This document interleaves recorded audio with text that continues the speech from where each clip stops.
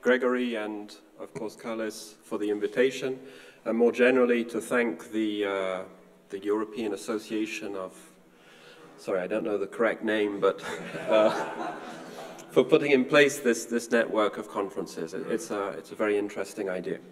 Okay, so I'm going to be talking about some work uh, that we've been doing in my group in the last few years, modeling um, chemical reaction mechanisms.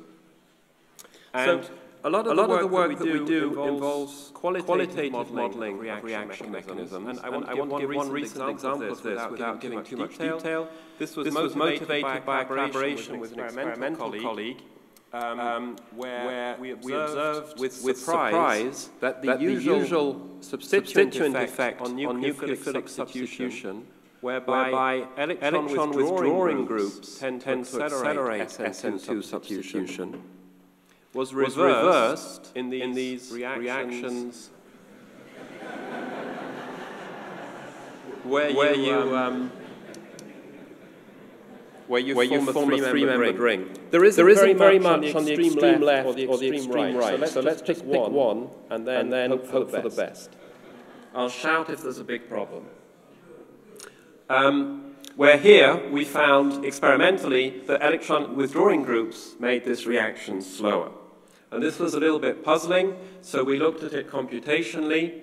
It turns out that computationally, if you study the intermolecular and intramolecular versions of this reaction, you indeed find in the intermolecular case that electron withdrawing groups make the barrier lower, whereas for intramolecular reactions, the electronic withdrawing groups tend to make the barrier higher.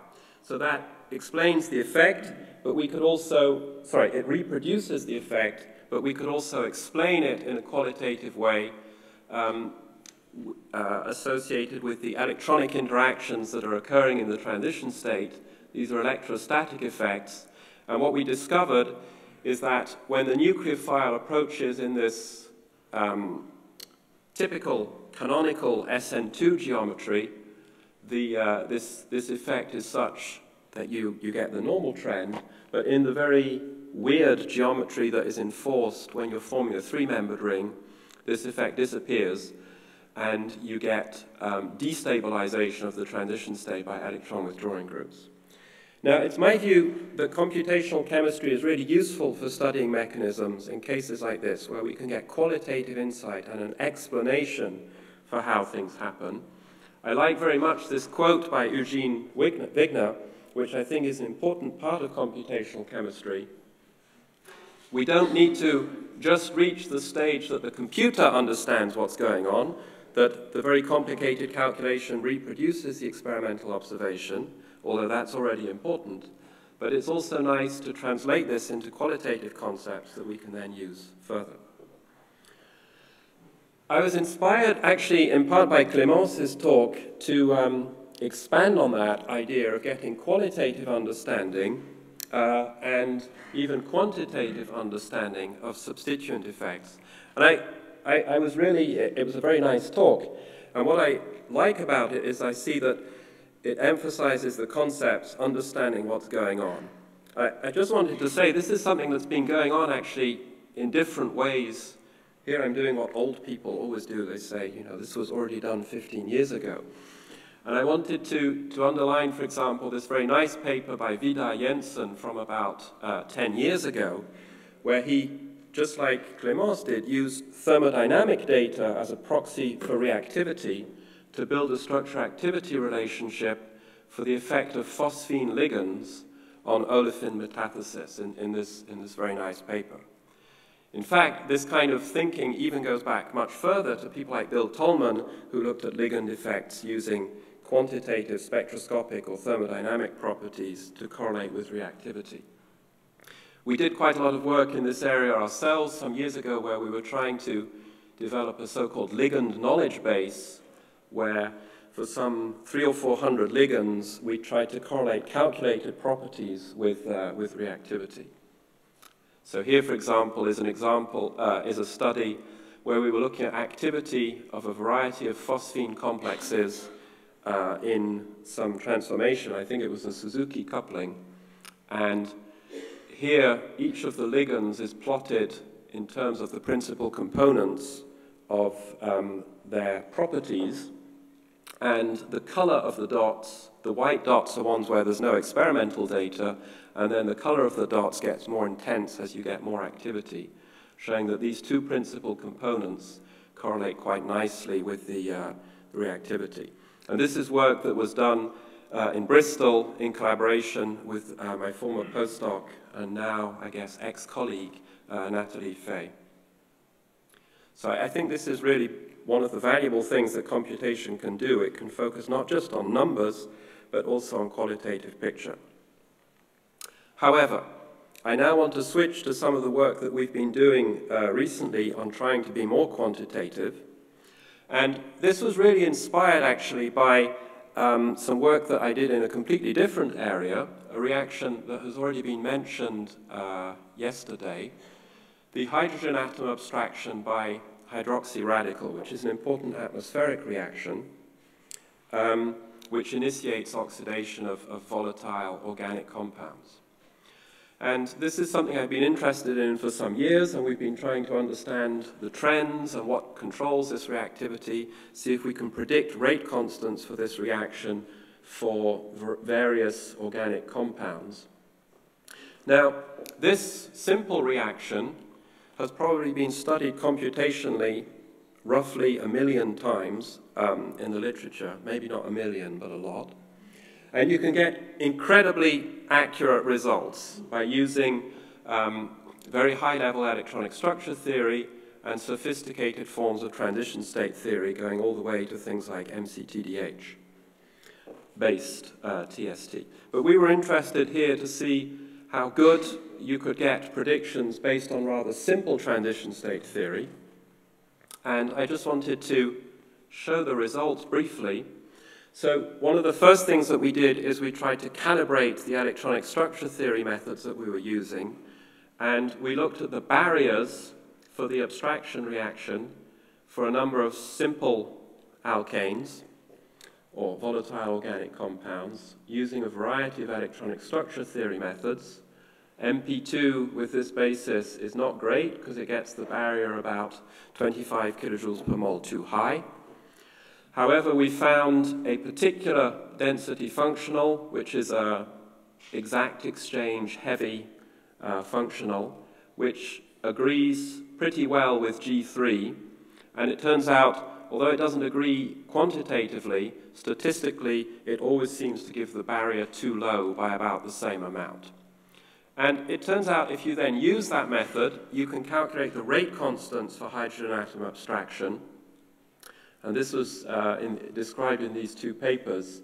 The, the, graph is from, from this paper, using simple uh, transition state theory. And this is plotted uh, computed versus experiment. The red line in the middle represents perfection, and the dotted lines represent an error by a factor of three, which corresponds to a, a free energy error of the order of 3 kilojoules per mole. And when doing this work, the, you know, which was disjoint from reactions in solution, I was thinking to myself, well, if you can do this here, shouldn't we try and do this for solution phase reactions, um, for catalysis?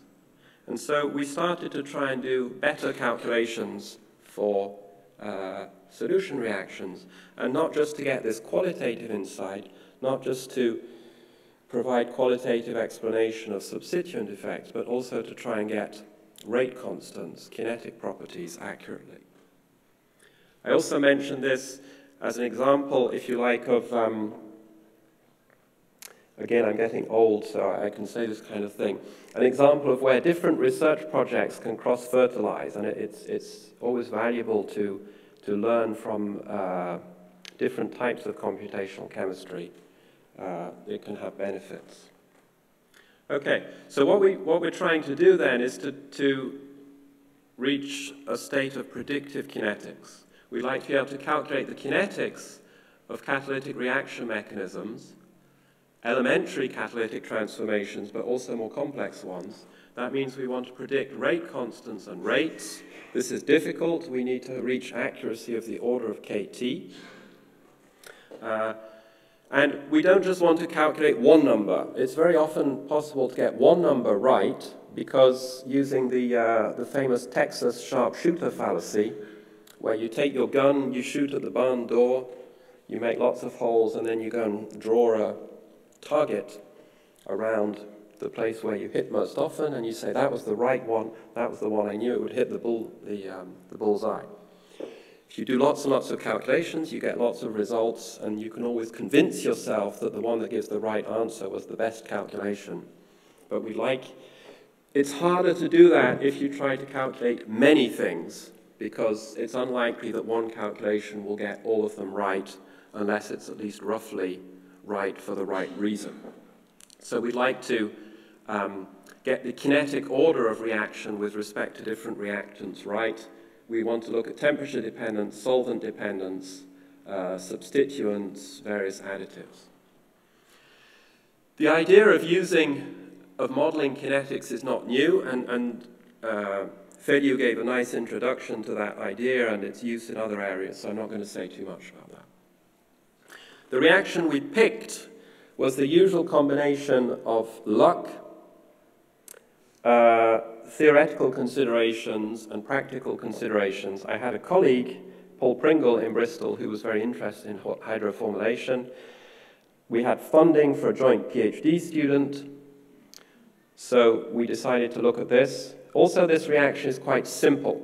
So even when we started this project about 10 years ago, um, you could do quite accurate electronic structure theory calculations. So it looked like an attractive target for a more quantitative approach. It turns out it has other features which make it a good test for theory, which I hadn't thought about, but which, turn out to be important. So th this is what we want to do. The aim, Paul Pringle's dream, was that I would tell him, do this reaction with a phosphine ligand with this structure, and it will have the exact correct profile of reactivity, selectivity between linear and branched aldehydes, hydrogenation of the alkene to form an alkane, hydrogenation of the aldehyde to form an alcohol. It will have the exact correct combination of all those properties that will make you a rich man. So that was his dream. We didn't quite get there, but uh, we learned some interesting things, I think. Um, some of you have heard me talk about this before. Um, for the others, I'm not going to go into too much detail. Uh, the reaction mechanism, slightly unusually for a computational study, was already known. It was known from experiment from uh, Heck from the 1960s. It was known uh, computationally from various groups, including the, uh, the Morokuma paper that was mentioned uh, yesterday, although that appeared after we'd already started our work.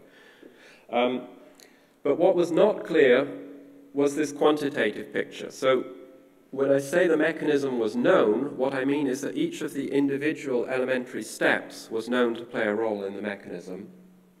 But what was less clear was, for example, what was limiting turnover. So that was our goal. We wanted to understand that. And our immediate goal, before going on to the riches inducing phosphines, we decided that we would model the reaction with the original catalyst, uh, which is just cobalt uh, and carbon monoxide and hydrogen, which forms this hydrido-cobalt complex in situ. And the reason we picked that is because there's been a nice study at ETH of the kinetics of this reaction with lots and lots of data at different temperatures and varying the pressure of hydrogen, varying the pressure of CO, varying the amount of catalyst and such like, which gave us a good set of data to test what we were doing. What did we do in this study? We used DFT to optimize structures. Because the system is fairly small, we could use canonical coupled cluster with a not very big basis set.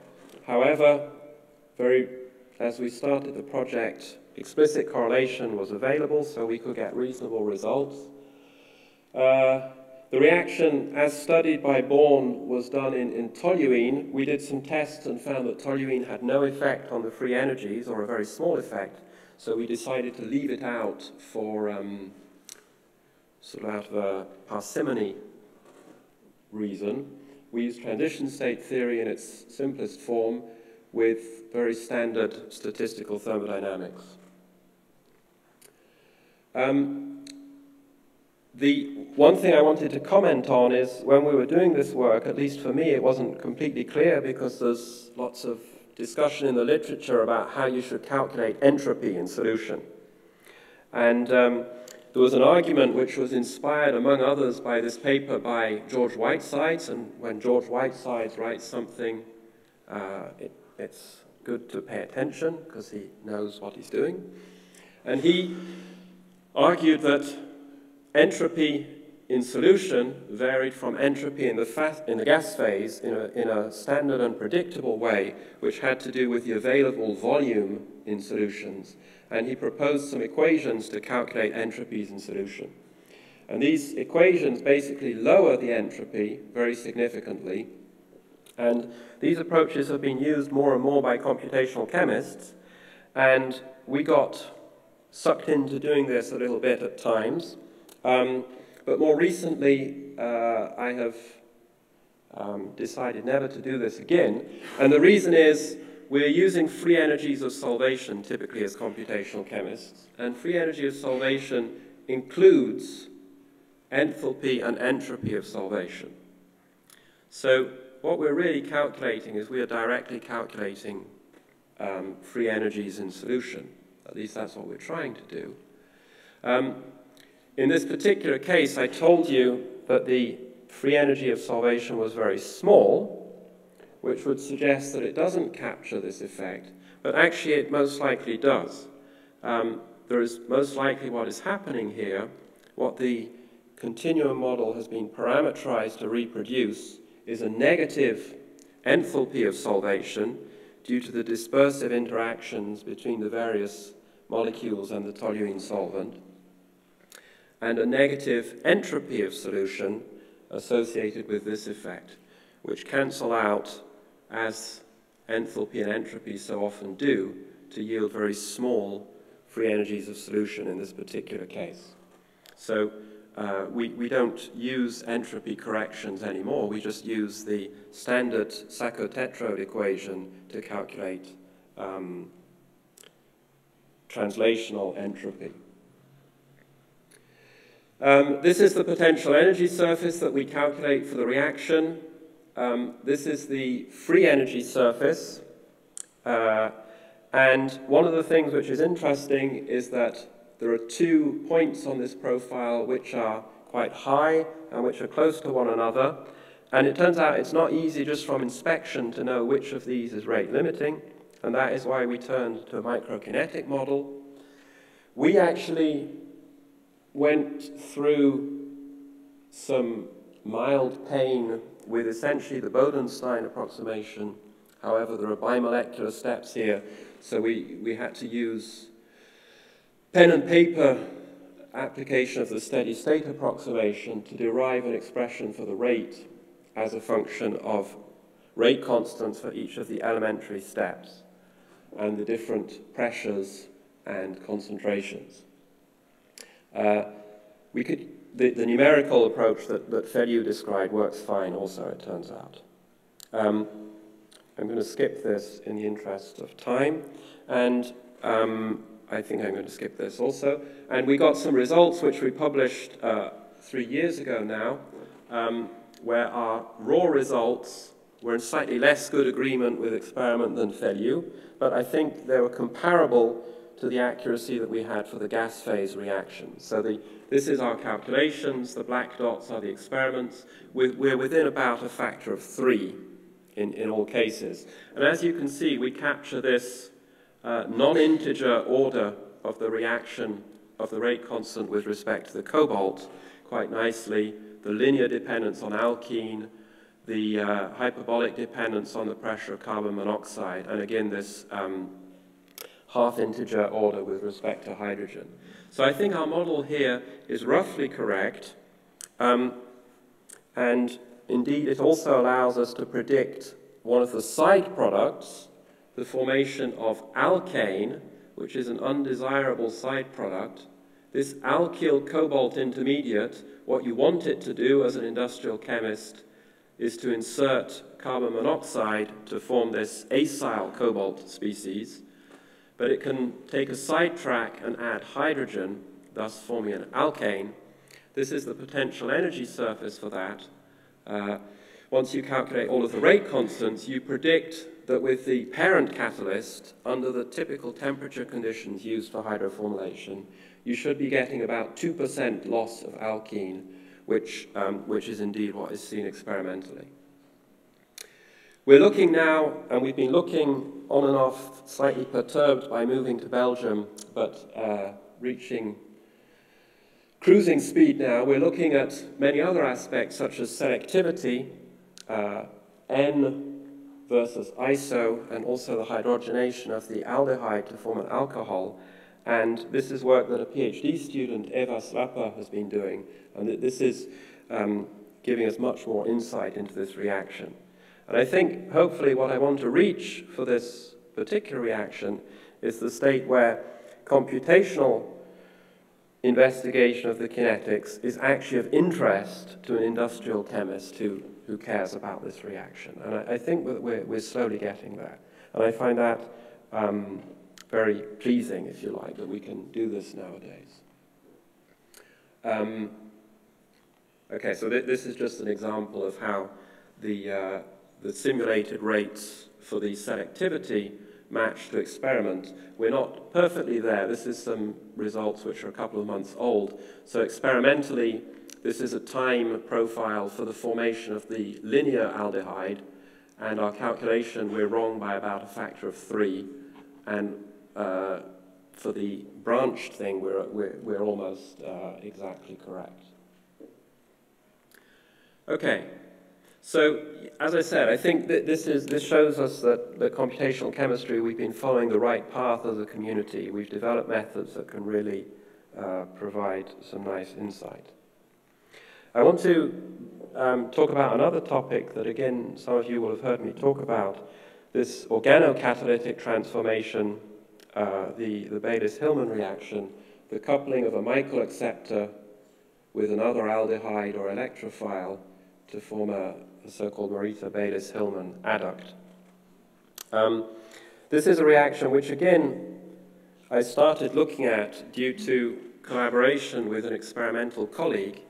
And the experimental colleague wanted to have a microscopic picture of the structure of the transition states in this reaction with the aim, the dream of becoming rich again or whatever, what he wanted to do was to design catalysts that would make it possible to make this reaction stereoselective. So you can see here, you go from achiral reagents to a product where there's a chiral carbon, and the dream was that by correct selection of the catalyst, which is usually a tertiary amine, you could get a um, chiral induction. And that doesn't work particularly well in this reaction, and he, he wanted to, uh, to change that. And so we studied the mechanism, and, and one thing that was known experimentally is that the mechanism changes a little bit depending on the conditions, and it was known that under some conditions, the reaction involved a second equivalent of aldehyde. And so it had been suggested that a transition state looking like this, where you have one equivalent of aldehyde and a second equivalent of aldehyde, was playing a role. And indeed, we found a transition state for this key step where this proton is abstracted. Uh, we also, it was also known that in the presence of protic derivatives or in protic solvents, a slightly different mechanism was followed, and we suggested or we checked that the proposed transition state involving a shuttle transfer of a proton uh, had an energy, a potential energy, that was close to that one which made it plausible that these two steps, um, one of them could dominate under one set of conditions and the other under the other. And this is something that we did a long time ago. I always publish very slowly, so this work was actually done probably in about 2005. Um, and, you know, it, it, it, was, it was valuable in terms of giving us some understanding of the, the features of the reaction and the structures of the transition state. The, the results were, however, wrong. Um, I mean, the potential energy surface here, this is energy, including free energy of solvation, but not including the free energy corresponding to the solute, um, gave a barrier of the order of 25 kcal per mole. And using sort of back of the envelope estimates, you can see that the free energy of activation must be much higher because you're bringing many partners together in this reaction. You're bringing the nucleophile, the Michael acceptor, one equivalent of aldehyde, sometimes two, or a molecule of solvent. And it turns out if you calculate the free energy, which we didn't do due to computational limitations back in, in 2005, you realize that our predicted free energy of activation was about 60 kcal per mole. And looking at the experiments, you could estimate that the experimental number should be about 25. So not good. Um, and I was sort of aware of that in, in 2005 and decided to look at this reaction again when correlated methods um, started to become applicable to these larger systems. And we actually used um, the Molpro version of local couple cluster theory and found that this barrier indeed drops quite strongly by about 30 kcal per mole uh, with coupled cluster theory compared to B3LYP. At first I couldn't believe it. Then I noticed that dispersion-corrected B3LYP was doing the same thing. I realized if you bring lots of things together and you're not describing dispersion, you can get big errors. So the, the, the main factor here was um, B3LYP is terrible, which I guess we, by now we all know. Uh, but still, we didn't have quantitative agreement with experiment, and more recently, um, Dan Singleton published this very nice paper where he added lots and lots of experimental insight into how this reaction works. And um, the experiments, I think, are really valuable uh, for, for, this reaction. The, I, I, saw Walter shaking his head there in despair or something, um, because many of you will know it's also a computational paper. It reports new computational results, and it, it, it argues that the computational results are junk. This is a quote from the paper, which I'll let you read. And to an extent, that this is a, this is a correct statement. I mean, the computations are wrong. They have a tendency to predict the incorrect mechanism, and the predicted barrier for the correct mechanism can easily be wrong by, by more than 10 kcal per mole. And the free energies that were determined experimentally for many of the intermediates and transition states along the way were likewise wrong. So again, when you get old, one of the advantages in such a fast-moving field as computational chemistry is that you can go back to your old results and try and understand what's going wrong. And I think this is valuable. So we, we decided, in collaboration with another group who'd worked on this reaction, to look at it again and to see if we could do better. So back in 2007, we were using B3LYP with a solvation-free energy. We weren't using free energy corrections. We certainly weren't using dispersion corrections. Um, but nowadays we can. We have access to, to reliable coupled cluster energies. And so now for our intermediates, we, would use an expression like this to, to look at the free energy profile. And once you write the equation like this, you realize why this is hard, because it turns out even the, the, the Molpro coupled cluster theory leads to, to problems here, and the, the Orca, Neese, and co. coupled cluster theory is, is, um, is more applicable, in my view, to chemical reactions like this, because there are subtleties to do with the restrictions on excitations, which, which map out better in this version. So this we can nail, and I think this we get to within about 1 kcal per mole. But it turns out this quantity varies by more than 30 kcal per mole across the reaction. And we have uncertainties here with how we calculate this. Not big ones, but enough to change free energies by 2 to 3 kcal per mole. We also have uncertainties here on the solvation free energy. And this makes it quite hard to be quantitatively right for this reaction.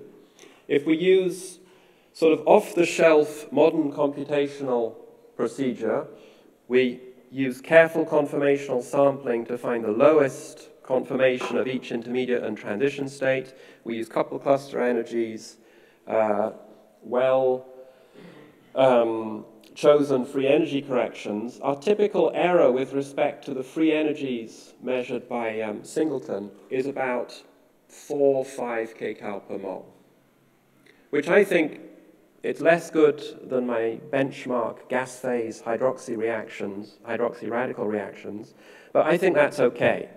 Um, it's enough to give us qualitative insight into mechanisms. It's enough for us to know that indeed there are two mechanisms that might be relevant, uh, even though it may not allow us to predict which one is correct. We did worry about whether the solvation models were accurate enough because at one point in this project we were using um, a different type of local coupled cluster theory, so some of our errors were more like 10 kcal per mole. So we decided to test the continuum solvent models that many of us use, and we did that using the, the Jorgensen approach to, to free energy perturbation, where you basically transform a reactant to a product and then use this free energy perturbation expression based on a simulation a, to a number of steps along the transformation to get the relative free energy of solvation between two points, then add them all up to get the overall free energy of solvation. You get results a little bit like this. This is the, free energy, the relative free energy of solvation of reactants. This is the products. We can do it forwards. We can do it backwards. Hopefully we get the same number, which here we do.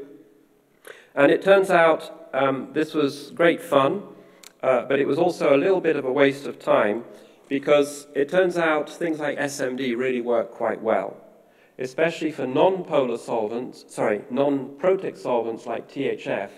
Our sort of maximum error was of the order of 2 kcal per mole. With methanol, it was more like 3, 4 kcal per mole. But this does mean that unlike hydroformylation, where solvation doesn't play any role, um, we, it's not just about coupled cluster theory. We also need to worry about SMD for reactions involving very polar intermediates. And that's why even after doing this, you know, some of our results get a little bit better, but others get a little bit worse. I think we're dealing here with error bars of 4 or 5 kcal per mole, which are, which are difficult to, um, to compress too much. The huge amount of work that we did revisiting this reaction and testing every single aspect of it was done by a very skilled and hardworking postdoc, Jen Liu, who's now back in, in Shanghai. And we did this work uh, together with, um, with Sunoj Ranagam. My time is nearly up, and so I'm going to suggest that I stop at this point. Uh, so this is Jen. This is Eva, who's been doing the more recent work on the uh, hydroformylation. These are some other group members. Uh, Scott showed us a photo of sunshine in England, which, when you looked a little bit closer, involved a grey sky. This is Belgium, and there are shadows, so there is sun in Belgium. And I'd like to thank uh, the EPSRC for funding some of the older results and KU Leuven and FWO for funding the new one. Thank you very much.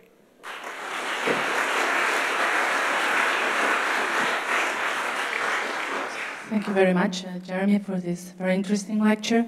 So it's time for questions. Um,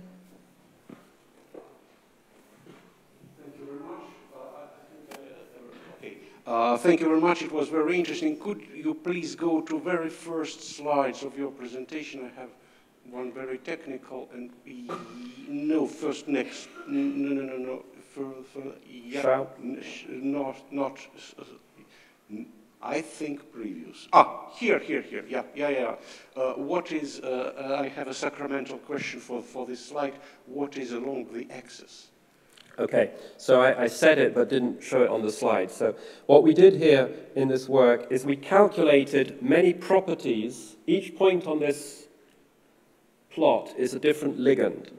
We calculated all sorts of properties for these ligands, like proton affinities, bond energies to various organometallic fragments, size, all sorts of stuff. And then we carried out principal component analysis of this data set. And these are the two, print, the two first principal components of, of this analysis. Cannot be attributed to anything significant. So Well- they are not contributed by 90% by something. So, as usual with principal component analysis, you just get a vector and you can look at it and you can try and understand what it is. And it turns out, interestingly, whenever you do this, you find out that Bill Tolman, sorry, not Bill Tolman, that's a different Tolman, Tolman, the great Tolman, Tolman. knew what he was doing. Because one of them often turns out to be something like an electronic Tolman parameter, and the other turns out to be roughly a steric uh, Tolman parameter, roughly, but not exactly. And, and then a little bit to, to the beginning. Y- yeah, more, more, more, more. Oops. Yeah, here. Uh, so you say here that this is the uh, electrostatic contribution which makes difference between the uh, intraspheric and, uh, and intramolecular and uh, Intermolecular. yes. But, uh, well, uh, the electrostatic is distance dependent, and uh, the distances are almost the same. Yeah, so this is, you know, like a number of things in Thank my you. talk, I showed but didn't explain. So what I'm showing here is this is the position relative to the nucleophile that this carbon occupies in this TS. And then if we take this intramolecular TS and chop it and do the same calculation, this carbon is there. And this shows the electrostatic potential. This point, relevant for the intermolecular attack, involves a point of very low or high electrostatic potential, a very nucleophilic place on the nucleophile, whereas here, due, to the sterics, if you like, the, the interaction is much less attractive from the electrostatic point of view. So it's a stereoelectronic effect whereby the nucleophile is not able to show its full colors as a nucleophile, if you like, due to the intramolecular constraint. So we still have time for a couple of questions. So Walter, maybe you're closer now. I just have a comment on the Singleton paper. I mean, I agree with everything what you said scientifically on that, but I felt that's why I shook my head. The paper was extremely unfair because in 2014, Singleton should have known that dispersion was not included in the earlier work and it was well known the order of magnitude of corrections. And so he put up a straw man to put down theory, and I think this is something that we should not tolerate. Yeah, look, we could have a long discussion about the tone of the paper. The fact is, we published results in 2007 which were very wrong. Um, and that's interesting. I, I don't feel particularly guilty about that, but I find it interesting. Uh, and I, you know, it, it makes you worry about whether the calculations you're publishing now are wrong. Uh, I think they are less wrong than they were 10 years ago, but I didn't think they were that wrong 10 years ago. So,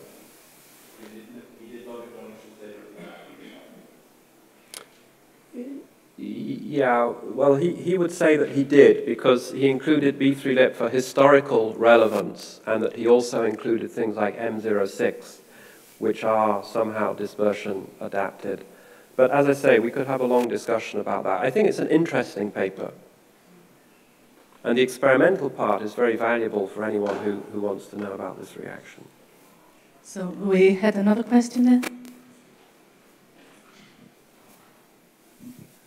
Hi, Jeremy. Um, just a quick one about the implicit solvation uh, discussion. So I think we agree that through the parameterization, you should essentially capture the change in entropy from going from gas to solution. But because obviously there's no temperature dependence to that correction, presumably therefore, if you apply SMD corrections 100, degree, 100 degrees away from the temperature of the parameterization, do you, do you see worse performance? Uh, well, I, I haven't ever really tested that.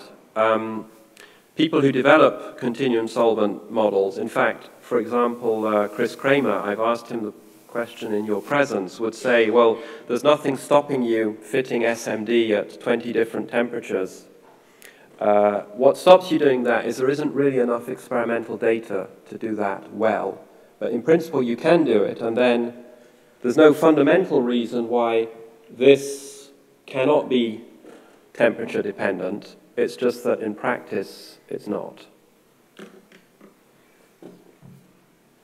Okay, so thank you. Jeremy, please uh, join me thanking Jeremy for this.